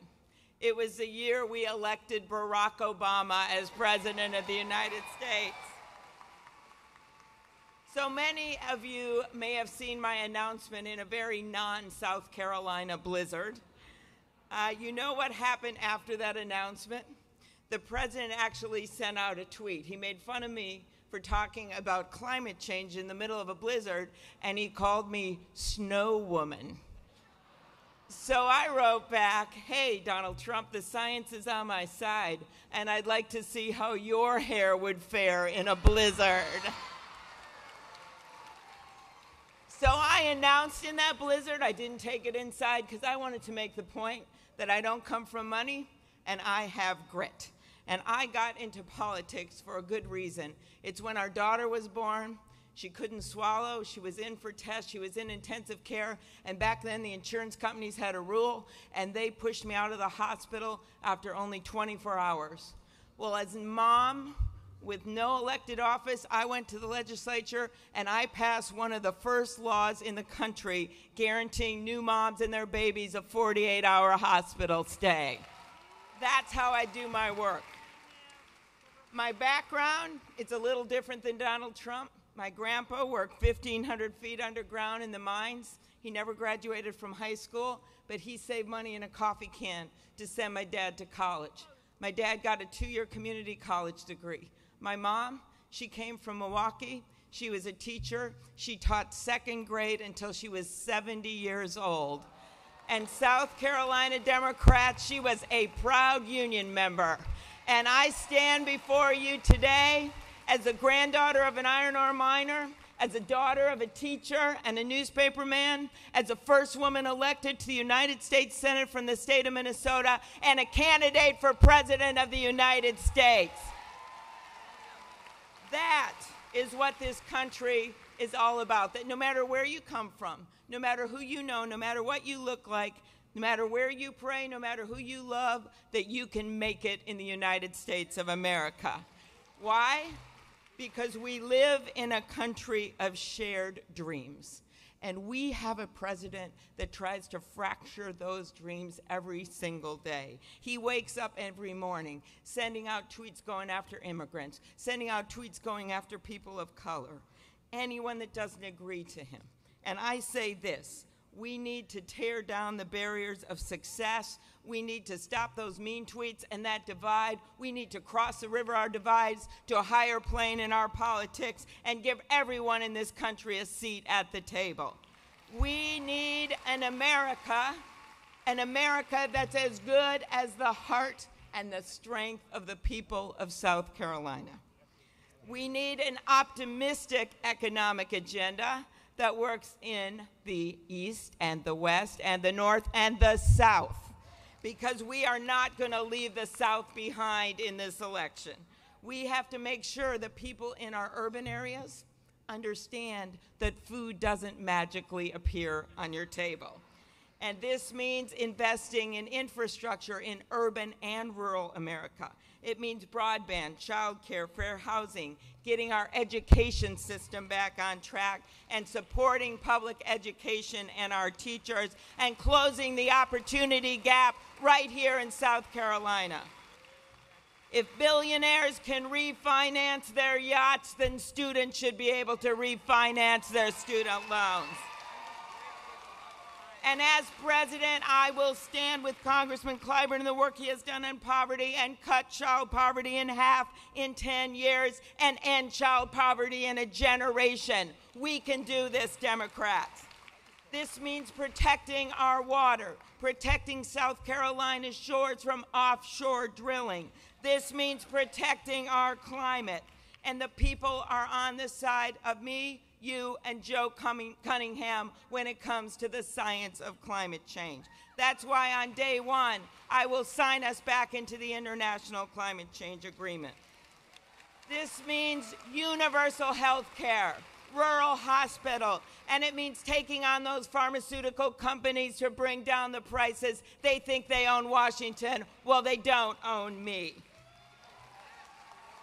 It means taking on the NRA and the dark money. It means restoring our voting rights so that if that hadn't happened in Georgia, where they withheld 58,000 ballots, we would have had a governor in Georgia named Stacey Abrams, and we still can with voting rights. It means passing a constitutional amendment to overturn Citizens United and passing my bill to register kids. But to do this, we're going to need to win. I got a plan for our first 100 days, over 100 things you could do without Mitch McConnell, without the Republican. And I run my campaigns with one simple idea that is, you leave no one behind. And I have gone to every single county in my state every year, the reddest of counties. And you know what happens when you do that? When you meet people where they are? I have won every single congressional district every time I have run. Every place. Places that Donald Trump won by 20 points. I have won every race, every place, everywhere, every time. And this is going to mean the kind of race we run in this country. And this is going to mean you, South Carolina Democrats. So, this is the arc that we are on. The day after the inauguration, millions of people marched across this country, right? On day nine, they marched against that mean spirited refugee order. On day one, on day 100, they marched for science. My favorite sign what do we want science? When do we want it? After peer review. On day 292, we won elections all over in those legislative districts we never thought we would win. And in a victory of decency and dignity, on day 327, Doug Jones won in the state of Alabama. Then you go to the fall when Joe Cunningham won in 2018 and you turned the House of Representatives back into the people's house. That is the arc we are on, and that is the march for justice that are going to bring us to victory in 2020. Let's go do it. Let's win. I'd love your support. I know how to win. Let's get this done. Thank you.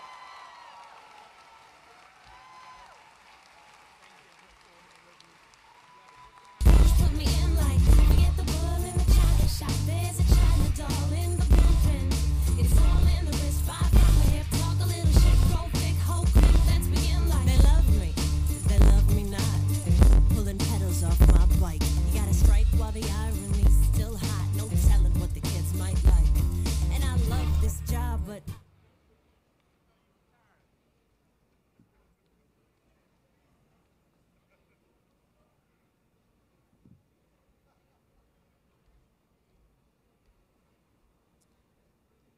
All right, how we doing? Let's give Senator Klobuchar another round of applause.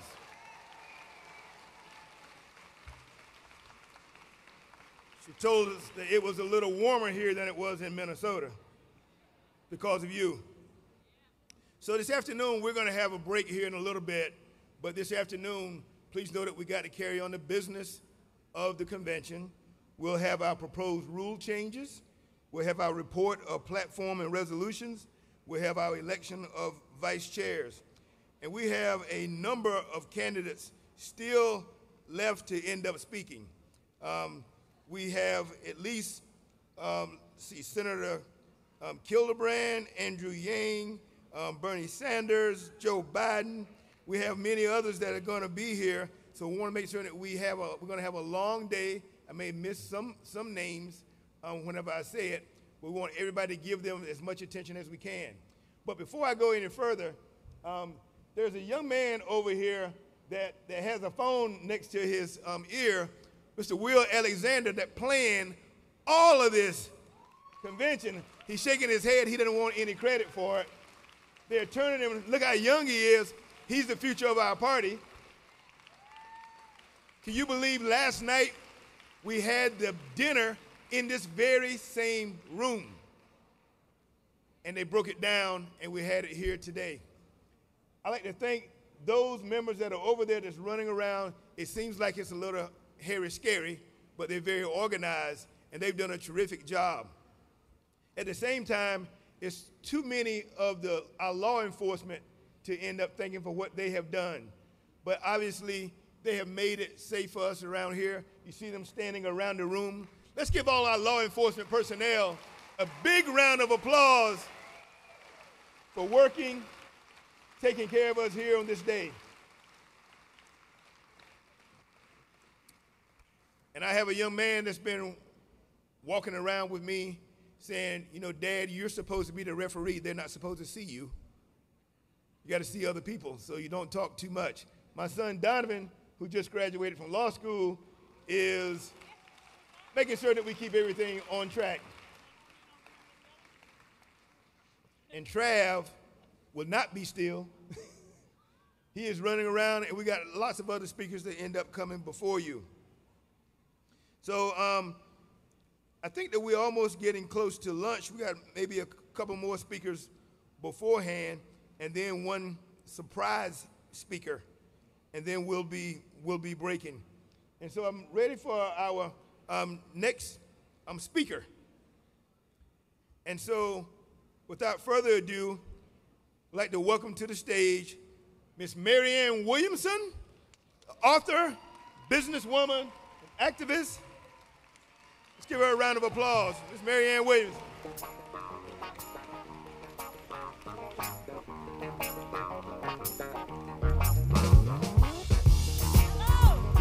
Hello, South Carolina. I am so grateful to be here. I want to thank Congressman Clyburn for that fantastic fish fry last night. And I also want all of us to wish Elizabeth Warren happy birthday.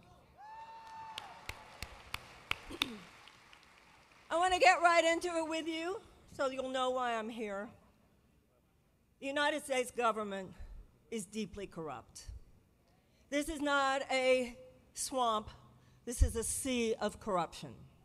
This has been going on for 40 years. And we're now, to, now at a point where basically we are not functioning as a democracy.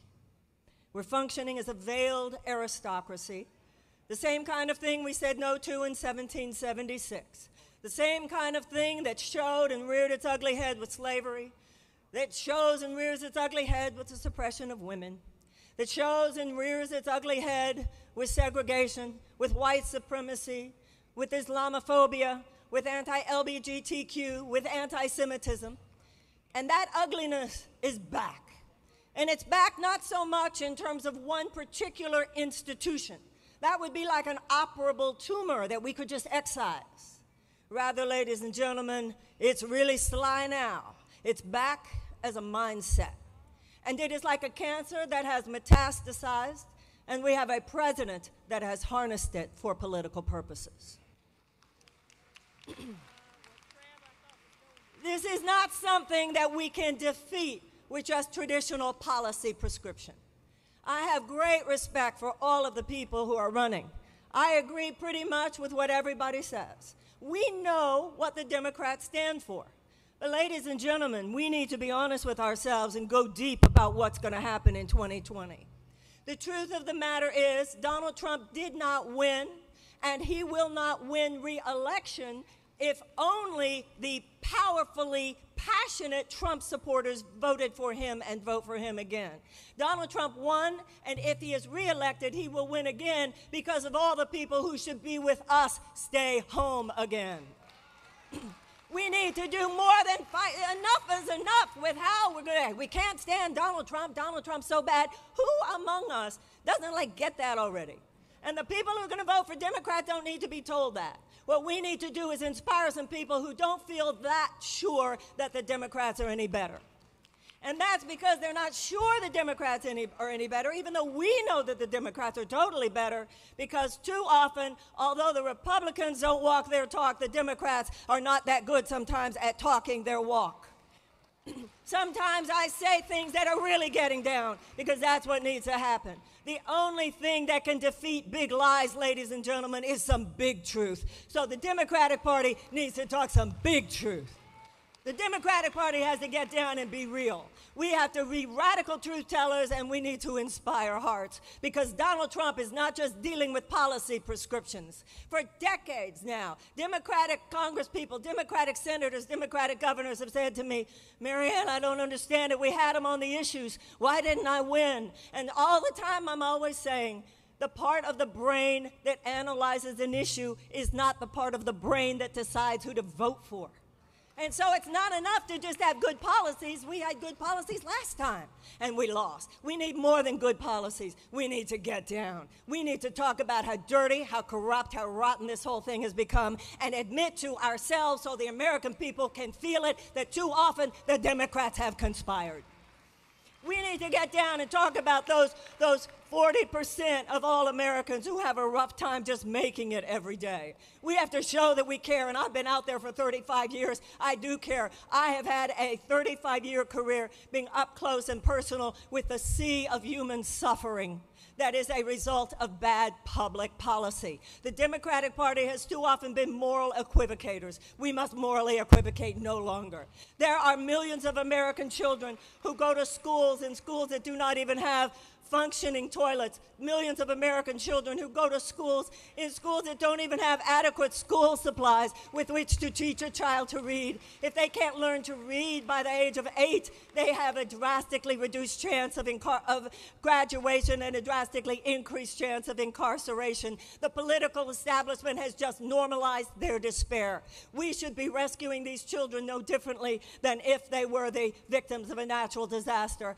I want the real thing, ladies and gentlemen, not just superficial things. I want a Department of Children and Youth. I want a massive realignment of investment in the direction of our children under 10. I don't want to just talk about Medicare for all, although we need it. We need to talk about the chemical policies and the environmental policies and the food policies and the agricultural policies that are making us so sick. And I don't just want to talk about race based policies because if you're just talk about race based policies, you're leaving open the question of whose fault that is. We need reparations, and we need reparations because reparations do more than pay money. They are spiritual power, they are an inherent mea culpa, they are an acknowledgement of a wrong that has been done, a debt that is owed, and a willingness to pay it.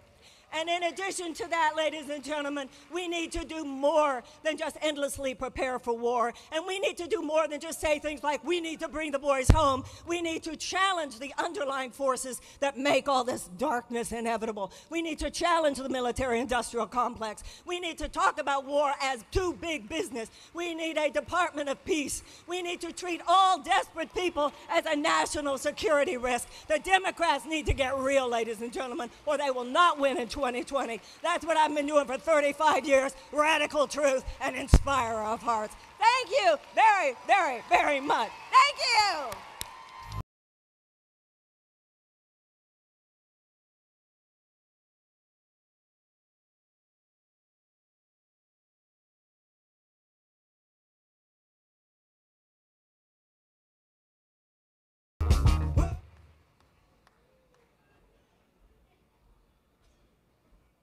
Almost almost to break for lunch, but first, let's give Miss Marianne Williams an- another round of applause. So, as chair, they've allowed me to have a little bit of discretion. So, I want to bring to the stage someone that we hold very dear. But before I do it, I have to tell you that Professor West is here in the house. If he raises his hand over there, can't see him. Okay. And so now we have a person that was also a presidential candidate at one time. He told me that he went to jail in 1960 and never stopped fighting. He won South Carolina in 1984, 1988, was a presidential candidate. And he tells us this keep hope alive. Let's welcome to the stage Reverend Jesse Jackson.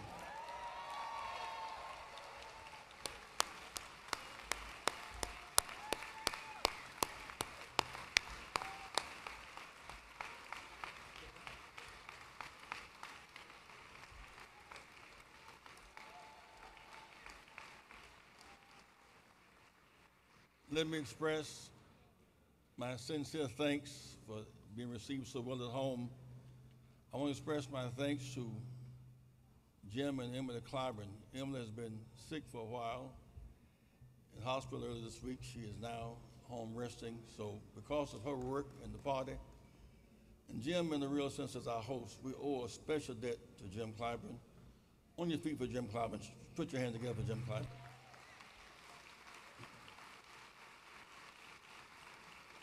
Put your hands together for Jim Clyburn.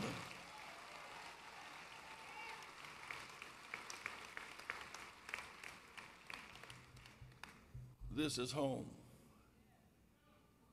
We're in Greenville, South Carolina.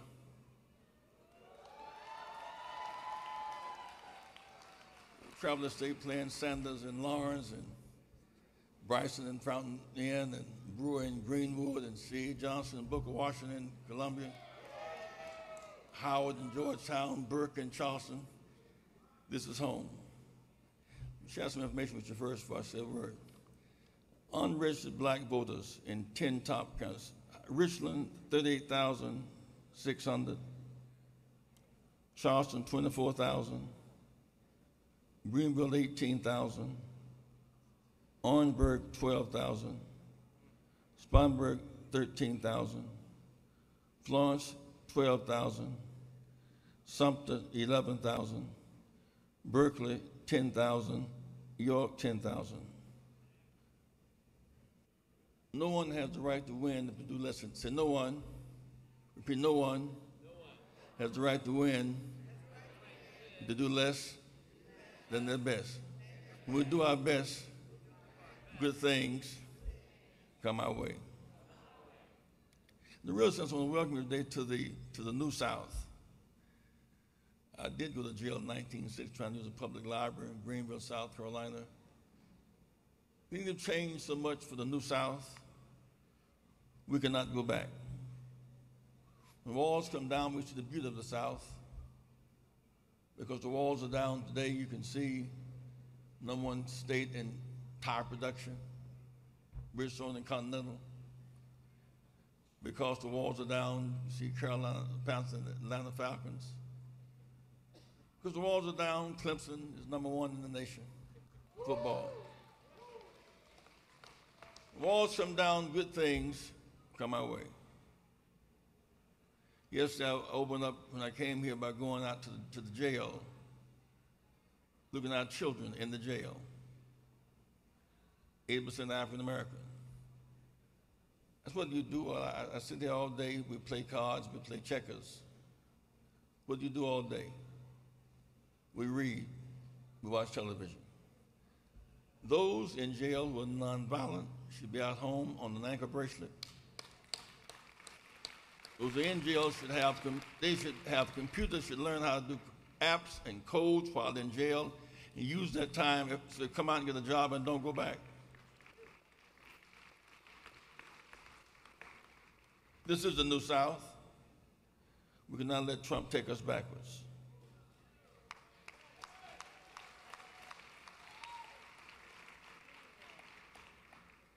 Number one. Number two, we have survived apart. They must learn to live together.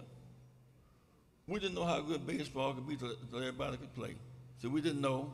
So we didn't know how good baseball could be, or football, that everybody could play. We don't know how good politics can be in our state till everybody can function together. South Carolina is too blue to be red.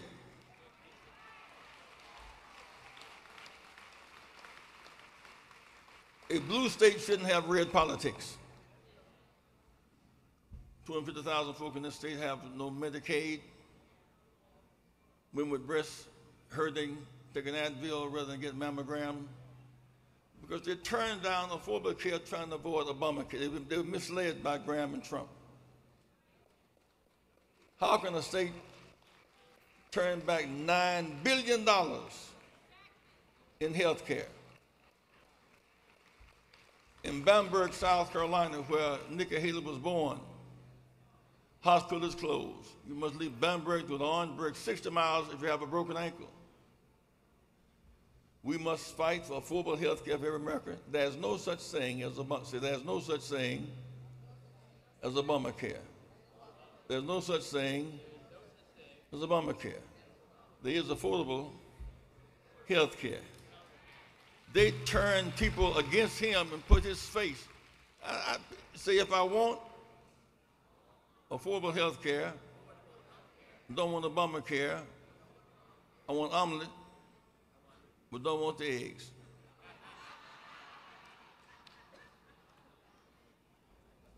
New South Carolina, the new day. We must move from racial battleground to economic common ground, the moral higher ground. What's common ground for us? We all want the, the richness of our state. You know, I watched Memorial Day services being celebrated last week in Washington. First Memorial Day was in Charleston, South Carolina. Civil War was over in 19, 1865. 300 Union soldiers would come south to save the Union and to end slavery, put in the racetrack in Charleston. They perished in the racetrack when they were rotted in their death. Put them in the racetrack behind uh, uh, a, a mass grave behind the racetrack. When blacks got free, they took them out the graves and gave them individual graveyards for dignity. They marched around the racetrack in Charleston to memorialize those that come south. South Carolina is a state of, of rich history, it's, Richard still. We are going to win South Carolina in 2020. We have the need, see, we have the need and the power. What makes us common? Protective, protected right to vote, affordable health care, liberal wages, eliminate student loan debt, invest in America, stop foolish wars, have a high moral standard. It is disgraceful to abort the babies on the border in Texas. We aborted babies on, on the border in Charleston some years ago, and they sold those babies. Jesus was a border baby. Went to Egypt as an immigrant, became a refugee. Be careful how you treat border babies. Let nothing break your spirit, South Carolina. This is a great day to be alive. Say, this is a great day to be alive. It's dark, but the morning comes. The Lord is my light and my salvation. Whom shall I fear? The Lord is the strength of my life. Yea, though I walk through valleys and shadows of death, I fear no evil, for thou art with me. Though you slay me, yet will I trust you. It's healing time. If my people will call by my name, humble themselves and pray, and seek my face and turn from the wicked, then they will hear from heaven and say, God will heal our land. God will heal our land. God will heal our land.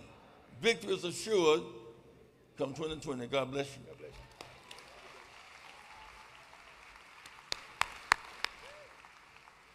Give Reverend Jackson a round of applause. We, um, we will now have lunch.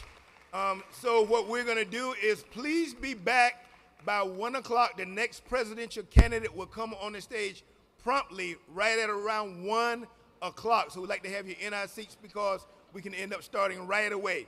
So we are recessed for lunch. Thank you.